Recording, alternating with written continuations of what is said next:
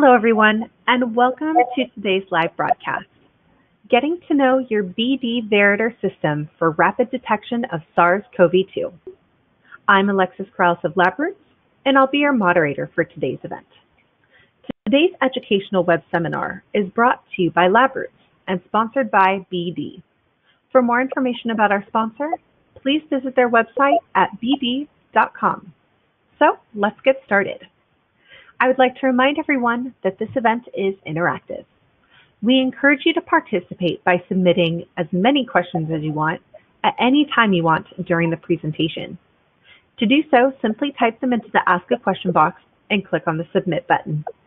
If you have trouble seeing or hearing the presentation, report your problem by clicking on the Ask a Question box located on the far left of your screen. I'd like to now introduce our presenter, David Barrett, IDS Business uh, Integrator, GPOs.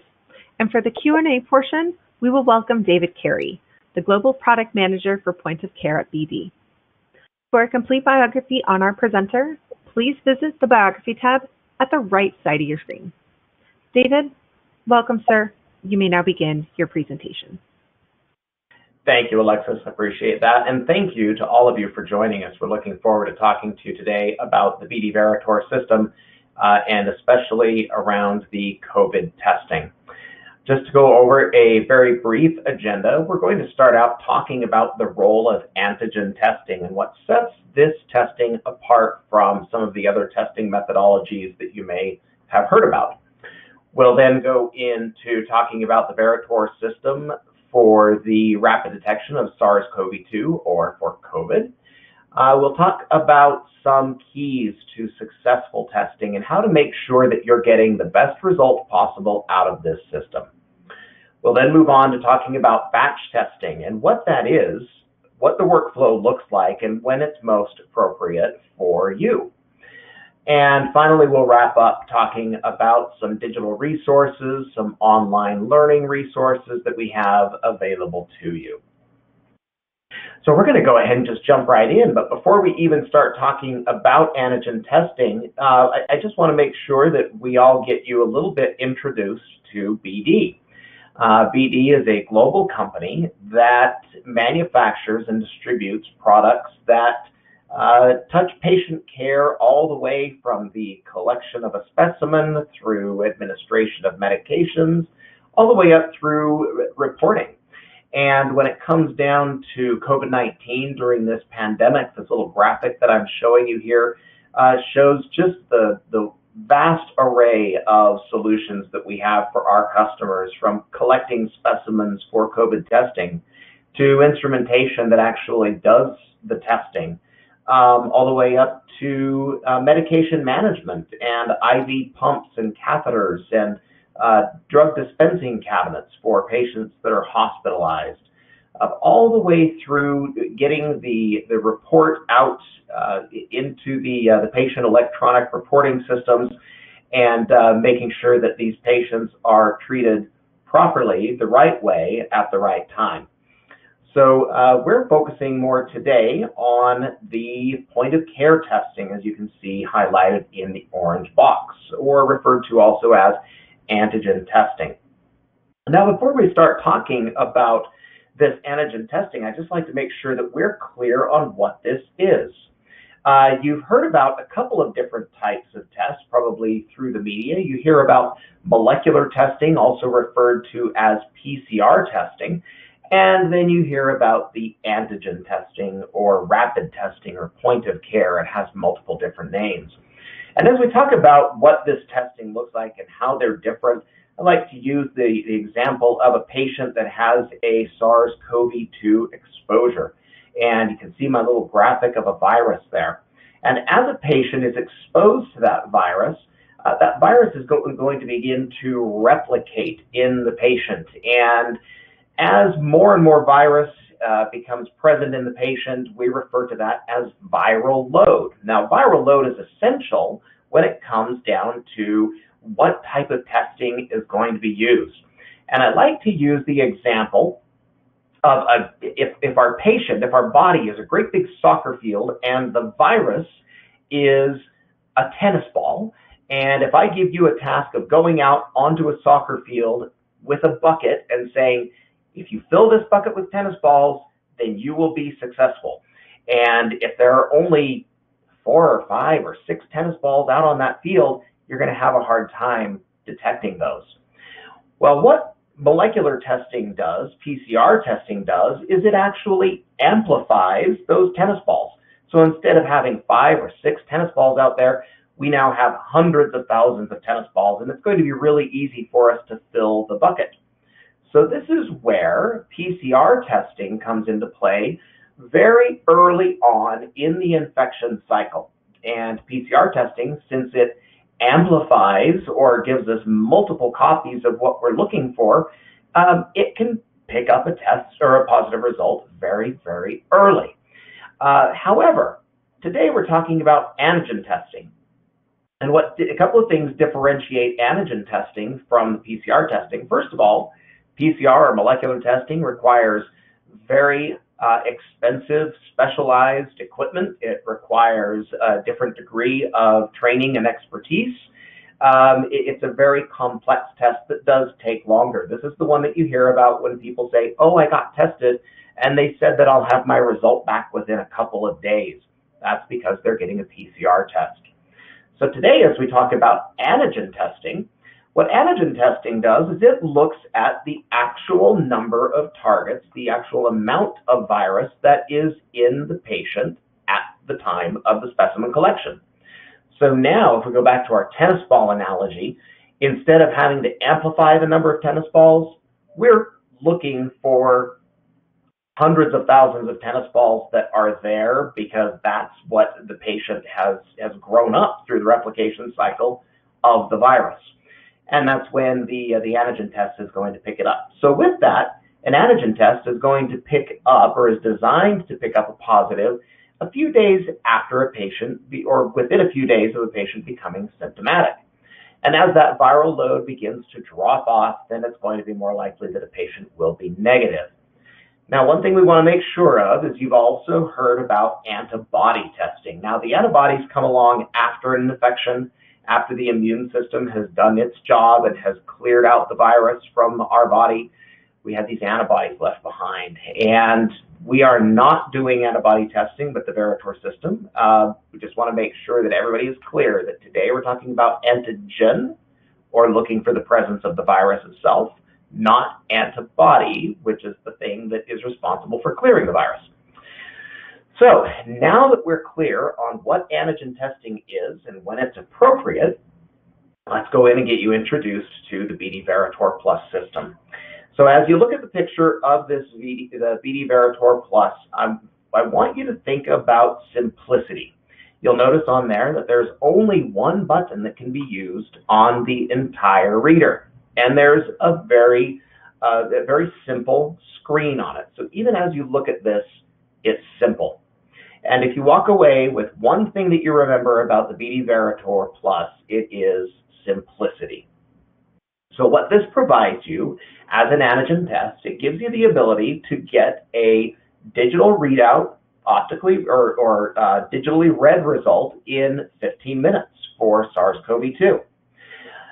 It also simplifies your testing by giving you a very easy, streamlined workflow, which we'll talk about, all in a reader that does not have multiple buttons, keyboards, any kind of maintenance or calibration required. Everything is as simple as can be. I do also want to point out at this time that you will hear me interchangeably use the words SARS-CoV-2, COVID, COVID-19. We're all talking about the same virus uh, that is responsible for the pandemic that we're in today. So let's go ahead and get you introduced to the SARS-CoV-2 or the COVID kit that can be used for the Veritor system. This kit is designed to detect the SARS-CoV-2 antigen in nasal swabs. We'll talk more about the specimen collection, but this is a nasal collection, not a nasopharyngeal, and we'll talk about the difference between those in a moment. It is designed for use within the first five days of symptom onset. It is designed for use with the nasal swabs only. And it does provide you an incubation time of 15 to 20 minutes and only about one minute of sample prep time. And one of the great things about our emergency use authorization from the FDA on this kit is that it can be used in any CLIA environment, from high to moderately complex and even CLIA waived environments.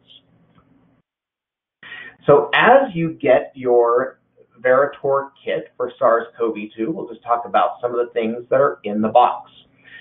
You're going to find 30 individually wrapped test cartridges or cassettes. And you can see a little picture of that off to the lower right-hand side of this slide.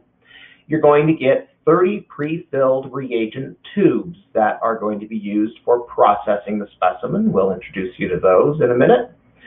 You're also going to get 30 nasal swabs. So these are the swabs that will be used for your specimen collection. You'll receive a set of positive and negative controls and you'll receive a document that shows where you can go download your package insert electronically. We are not including the package insert in paper form in these kits.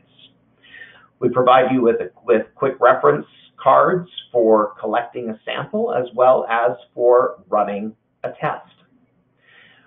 What you do not get in the kit is the BD Veritor Plus analyzer itself. That needs to be uh, acquired separately. Uh, you, we do not provide you with the gloves and any other appropriate PPE or a timer for the kit. But just about everything that you need, with the exception of the reader itself, is included in this kit.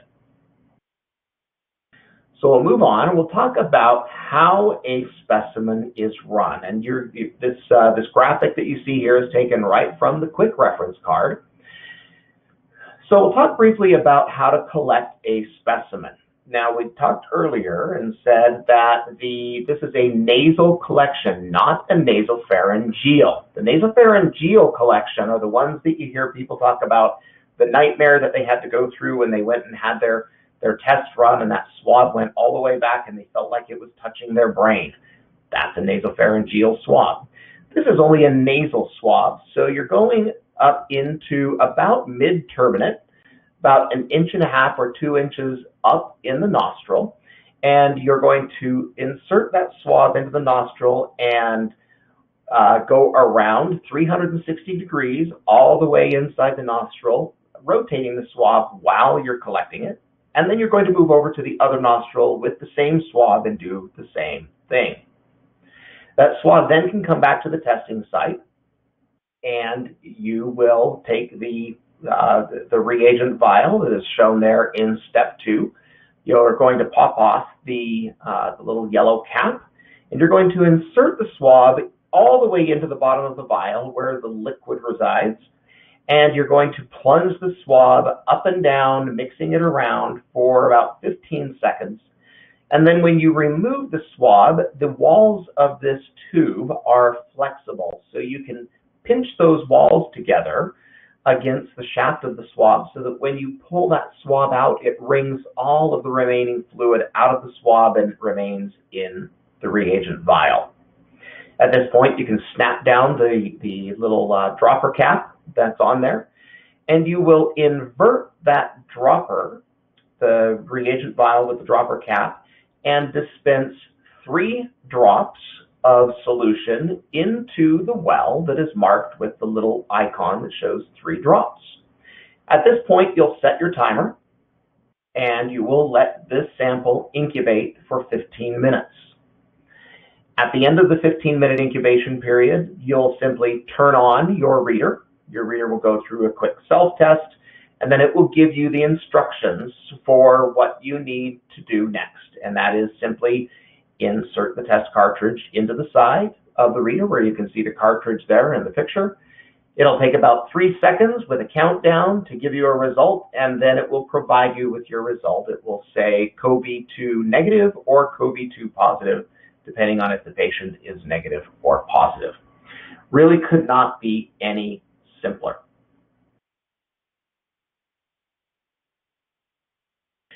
So with that, we're going to talk about just some steps to ensure that your testing is as successful as possible. As a laboratorian myself, I always like to make sure that people understand that a quality specimen will give you a quality result. And this system, the the uh, the Veritor system itself, as well as the CoV2 uh, assay, have a very high degree of accuracy. Uh, we actually compared 226 nasal swabs between the Veritor and a PCR, that molecular method that we talked about at the very beginning, to determine the accuracy. And what we found with our positive percent agreement claims and our negative percent agreement claims is that when a when the system reports out a positive result, you can be assured that that is truly a positive result. We show that there's no cross-reactivity between other human coronaviruses or flu tests or flu viruses or any other respiratory viruses. However, despite any of those performance claims, uh, like I said just a moment ago, the uh, the test system is only as good as the person collecting the specimen and the person running the test. So there are just a few key steps that we want to make sure we touch on. We want to make sure that you're following the instructions for use specific to the SARS-CoV-2 test. Now, the Veritor system is able to run flu testing, RSV testing, and group A strep testing. And if you know how to use any of those tests, that does not mean that you know how to use the SARS-CoV-2 test. So we need you to follow the instructions that are specific to that test. We also want to make sure that we are following the instructions very closely for specimen collection. And then making sure that we follow the procedure steps exactly as they are written on the quick reference guide.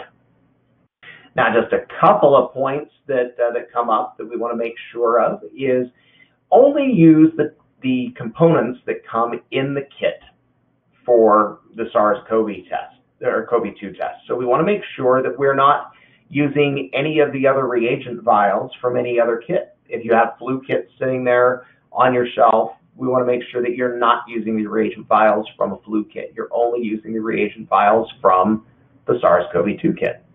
We also want to make sure that we are only using the nasal swabs that come with the kit. You may have other swabs, Dacron swabs or con, uh, cotton tip swabs sitting around your uh, your facility, and we want to make sure that you're not using those. Only use the swabs that come in a kit. Those are the approved collection swabs for this test. We also want to make sure that you are processing your specimens within an hour of collection. And then one of the last items is we want to make sure that you are incubating for the full period of time, 15 to 20 minutes. Do not read before the incubation time. And then lastly, we want to make sure that you are letting the reader do the, the reading of the test for you. It's really easy to look at the test and think that you see a line and that you can call it a positive or a negative, but this system is designed to be read digitally with the Veritor reader and we want to make sure that you're letting that reader do the work that it's supposed to do and that we are not reading those visually. Okay. All right, so let's just talk a little bit about batch testing and where that comes into play. So the Veritor reader actually has two different modes of reading. There is a mode called Analyze Now mode, which is the one that I just went through with you, where you'll incubate your cartridge and then pop it in the reader and the reader will read the test for you and give you a result. There's another mode called walkaway mode. Now, walkaway mode is great for situations where maybe you have a lot going on that you're taking care of uh, different patients, or if you're in a long-term care facility, you're taking care of their various needs of residents, and you cannot sit and be tied to the reading of the results. Well, walkaway mode allows you to, once you insert the, you inoculate the test strip with the three drops, you can put the reader into walkaway mode. It tells you how to do it right on the display just by pressing the button twice. And then it will instruct you to insert the cartridge. And when you do that, it starts the countdown timer of 15 minutes for you. And then whether you're there or not, it will read the test and it will have the result there waiting for you when you get back to the reader. Now that system doesn't, uh, or that methodology doesn't always work the best in very busy facilities where they're doing multiple tests at a time. Uh, maybe you're you're on a kind of facility where you're getting five to ten or fifteen tests at a time, and that's where batch testing really comes into play. And batch testing allows you to set up multiple specimens all at the same time and read them in a very fast fashion. Now, we have provided a, a work card, a document similar to what you see on the screen here at bdveritor.com uh, that gives you the way to do batch testing with up to 10 tests. And you can process all 10 tests within 26 minutes very easily. And basically what we're going to do is each step of the process will be taken to completion for all 10 of our specimens. So we're going to make sure that we collect all 10 swabs first. And then when we have all 10 of our swabs, then we're going to go ahead and we're going to process all 10 of those swabs into 10 of our reagent vials. And then once all of those reagent vials are processed, then we're going to go sequentially and we're going to apply three drops of the first vial to a reagent cartridge, three drops of the second vial to a reagent cartridge, and so on and so forth until we have gotten all the way through our, our, our reagent vials. And all of our cartridges have now been inoculated. At this point, we can start our timer for 15 minutes. And when that 15 minutes elapses, then we can read the first cartridge and record the result, read the second cartridge and record the result in a stepwise fashion until we've gone through all 10 cartridges. Now, going back to steps for success, one of the things that we want to make sure of that we're doing is clearly labeling our swabs and our reagent vials and our test cartridges with whatever patient identifier we're using. If it's patient initials, if we have a patient number, uh, we just want to make sure that we're not getting swabs, reagent vials, and cartridges mixed up. But all of this is uh, made very, very clear on the workflow guide that we've provided here. And then also, I'm showing you right now a YouTube link that shows you a guide to batch testing where it takes all of those steps that I just gave you and it, uh, it shows you in a video fashion how to do those. So you can, um, you can go to the BD YouTube channel and look at this guide to batch testing, or you can just follow this link right here. Okay. All right, so moving on, we'll talk a little bit about some of the reporting options. Now, one of the steps that I gave you in the uh, in the, the process of, of running a test is once you read the test cartridge and you have a result, you record that result. Well, there are a number of ways of doing that. And we'll talk about four different methods that are available to you.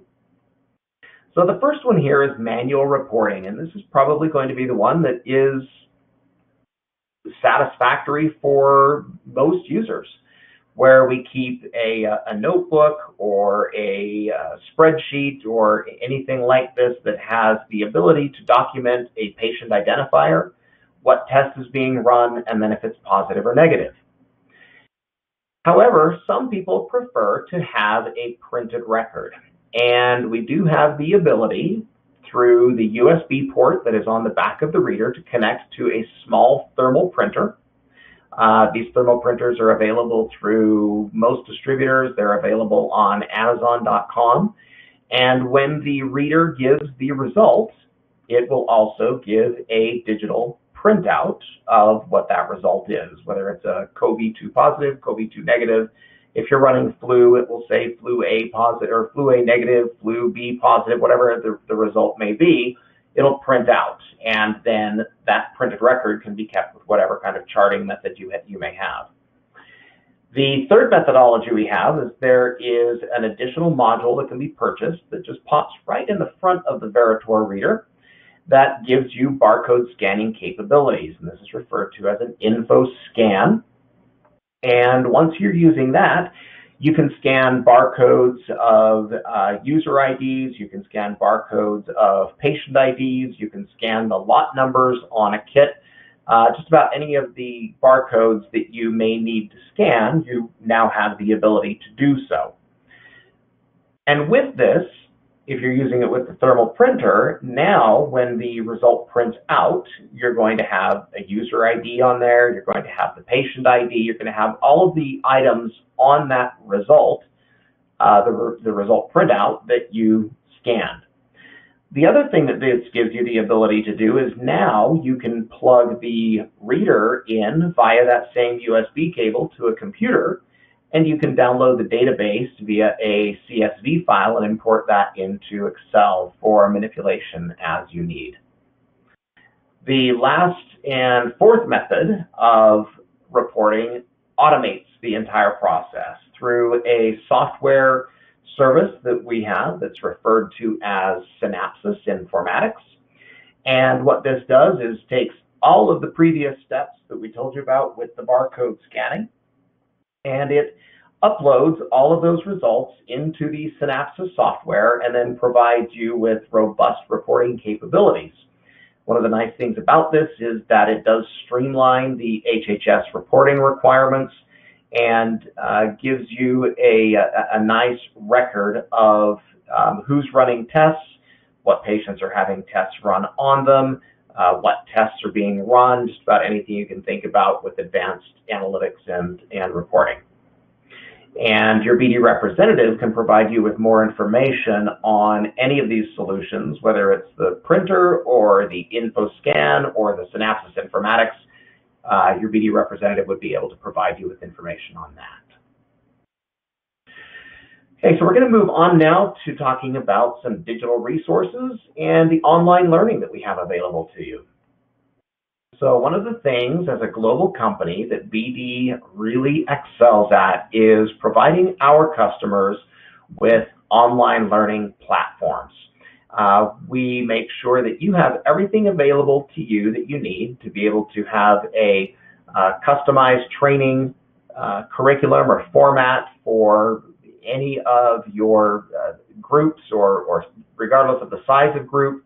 Uh, these resources are updated on a regular basis. So as new information comes out or no, new tools are available, the, uh, the online resources are updated. There are a couple of main websites, and we have them right here for you. BD.com forward slash COVID 19 is one site that has a wealth of information about the SARS CoV 2 testing. Uh, you can also go to bdveritor.com, and at that site, you will find uh, a wealth of information about all of the other things that the BD Veritor can do. Now, on these sites, one of the other things that you'll have the ability to do is you can watch videos that show you how to properly collect a specimen, watch videos on how to properly run a test. Um, any of the documents that we've talked about uh, throughout this presentation are available for download on these sites as well. And then we also have the YouTube channel that we talked about earlier that not only shows you how to do the batch testing, but provides you with other resources as well for uh, training, uh, learning about how to run a test, and uh, and allowing you to link to those those videos uh, as you work on your training curriculum.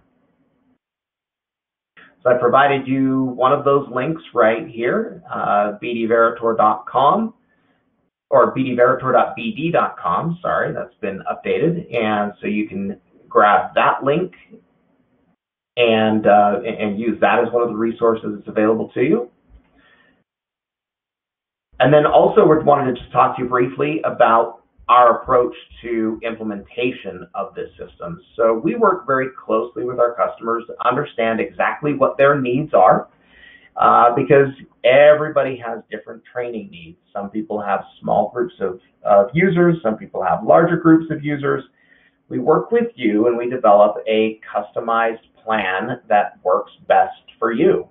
Uh, for some people, they are fine with all of the online re- online training resources. For other people, they may need to have train the trainer programs put into place. So we work with you on all of those things. And then as a global company as well, we do provide you with ongoing support post implementation. So we have an entire group of experts uh, that are dedicated to customer service and customer care. So should you run into problems or issues along the way, then you can just reach out to us and we'll be happy to assist you with whatever those may be. So just a couple of other links here again that you can snag. So those education resources are at bdveritor.bd.com, as you can snag this link right here, which has a number of the educational resources for you.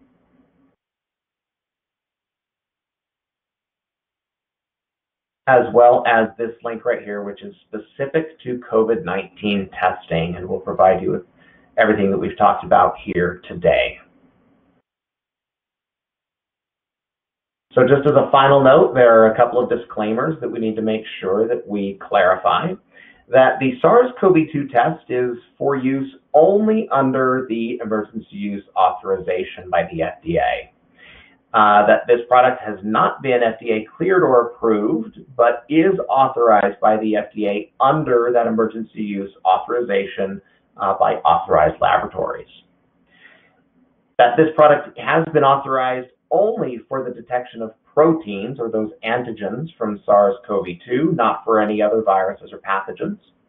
And then lastly, the product is only authorized for the duration of the declaration that make the emergency use authorization necessary. And that could be revoked or terminated at any point in time. So with that, that is the end of our presentation. And uh, I think, Alexis, are we going to go ahead and open up to the Q&A portion? Yes, absolutely. So thank you, David Barrett, for that informative presentation. I would also like to now welcome David Carey to join us for the Q&A portion of this webinar. So if you have a question you'd like to ask, please do so now. Just click on the Ask a Question box located on the far left of your screen, and we'll answer as many of your questions as we have time for. So let's get started. Our first question is, when should I run the controls that come in the kit?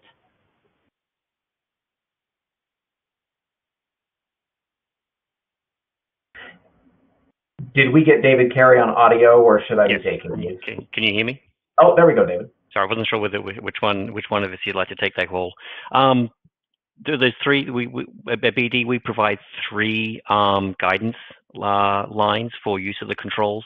Um, really, once whenever you, get a new kit lot that comes in, um, if you have a new operator that you're bringing on board, um, and really, and also if there, and the third one, third qualifier is if there are any internal quality procedures or internal quality control procedures at your institution that requires you to um, run additional controls. One of the things that I like to just throw out there as well that um, a number of my customers have done is uh, usually you are fine running a both a positive and a negative control if you get a shipment of boxes that are all the same lot. So you should only have to run your controls for one uh, for one lot. And what many of my customers have done is uh, if they have extra controls left over, they just throw those in a drawer, and those are great to use for proficiency testing. So, like David said, when you're when you're training a new user, uh, you would have them use those controls as if they were a patient. And if you just hold on to any of your controls, don't discard uh, any unused controls. They're great for those training purposes. Great. Thank you so much to you both for that answer. Um, David, I believe you might have mentioned this um, earlier in the presentation, but uh, one question that came up was, can I do an NP swab? Yeah, I can. I can go ahead and take that. So this is not an NP swab. This is a nasal, uh, which is a nasopharyngeal swab. Uh, this is a nasal swab only, and um, when you when you see the size of the swabs, you would not ever even want to attempt to do a nasopharyngeal swab. The nasopharyngeals are are very tiny and have a, a flexible tip, and this is a, a larger, more rigid swab. So we want to make sure that The, we are only using the approved specimen type, which is a nasal swab in both nostrils. Great. Thank you so much for that clarification. Moving on to our next question. Is the Veritor system portable or does it need to stay plugged into the wall? And I'll take this. Okay, there you go, David. Yeah, I'll go ahead and take this one. I, I forgot to mention it, but uh, yeah, one of the one of the other very convenient points with the the Veritor Plus system is that it is portable. It does have a rechargeable battery, so it comes with a uh, a power cable that will charge the battery when it's plugged in. But if you need to take it with you, you can just unplug it and that battery will stay charged. Uh, the one thing that I will say is that if you are running in that walkaway mode that we talked about, the system does require itself to be plugged into the wall, into the, the wall charger while you're in walkaway mode because it doesn't want to run the chance of having that battery run down while you're away. Great, thank you so much.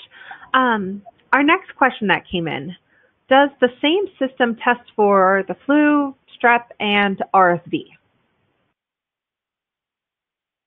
Uh, David, I can take this one. Yeah, Okay, you can you can use the same the, the same Veritor platform or can run all the assays. You would obviously need the individual kits for flu, AB, uh, group A strep, and RSV. But the same the same Veritor instrument can run all three independently. Perfect, David. Thank you so much for that. Um, we do want to remind our audience, you know, any questions that we don't have time for today and those that we aren't able to get to will be addressed by our speakers um, via the contact information that you provided at the time of registration. Um, so let's move on to our next question. Um, what do you do if more than three drops are put in a well or not three full drops, so half falls outside the well, for an example?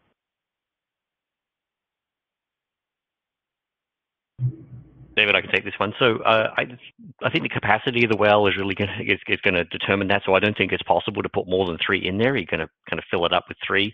So there's not as much of a problem, except the fact that you, if you oh, if you put too much sample in, then there would be a, a concern around not having enough for a repeat if required. Um, if not three, if not full three full drops in there, if you uh, for some particular reason some of it fell out of the well, there should be residual uh, extraction reagent in the vial for you to add an additional drop. So let's say you got two and then missed on one, you should there should be residual material extraction reagent in the vial for you to add uh, additional drop or so to, to, to, to get the full amount in there. Great, thank you. Um, so here, here's another one. Um, so just for really clarification, so the controls are swabs. Is that correct? That is correct. In the box, there will be a there a, a little foil pouch, and there's one that uh, very clearly shows that it is a positive control swab, and the other one is very clearly marked as a negative control swab. And they're processed just like a regular patient swab. So it does because of that, it does test the uh, it, it tests the integrity of the full system all the way from processing of the uh, of the swab in the reagent vial uh, all the way through the reading and reporting out of a result. Great. Thank you so much, David, for, for that clarification. Um, we do want to thank you again, David Barrett and David Carey. Um, do you have any final comments for our audience? Um, David Barrett, I'll go ahead and start with you. Yeah, the only final comment that I would have is that uh, BD is here for you and is available to help with any of the questions that you may have. We do have a team of experts that um, is at our 1 800 number that is available to answer any additional questions. And um, as Alexis said, any questions that we didn't get to today uh, will be uh, sent, the answers will be sent out uh, later after this call. And for me, just thank everyone for attending today. Uh, and as well, if, if there's any more information you want to know about the BD Veritor, um, we're constantly updating our webpage, the, the, the microsite that's dedicated to Veritor, bdveritor.com. Um, so there'll be new content loaded there on a pretty regular basis. So if there's anything um, that you didn't see on the on the webinar today, I'm sure there's extra material that you can find on on that website as well. Thank you so much to, to you both. Before we go, I'd like to thank the audience for joining us today and for their interesting questions. Again, like we mentioned, questions that we did not have time for today and those submitted during the on-demand period will be addressed by our speakers via the contact information that you provided at the time of registration. So please feel free to keep those questions coming in. We would like to once again thank David Barrett for his presentation and David Carey for joining us for that Q&A portion. We would also like to thank LabRoots and our sponsor BD for underwriting today's educational webcast. You can view the webinar on demand. LabRoots will alert you via email when it's available for replay.